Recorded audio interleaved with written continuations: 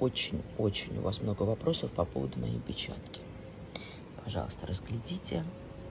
Я это кольцо сделала в Баден-Бадене, а, в ювелирной мастерской. Сбылась моя давнишняя мечта. Впечатала просто мои инициалы. Там нет никаких гороскопов и никаких заклинаний.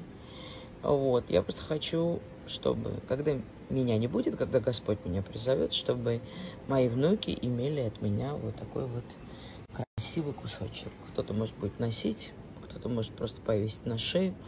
Других целей у этого кольца нет. Только удовлетворение моих эстетических запросов. Вот, никакого сакрального, никакого э, религиозного, философского смысла у этого кольца нет. Мне кажется, это кольцо очень красивое и очень мне идет. И не изготавливают нигде, кроме Европы.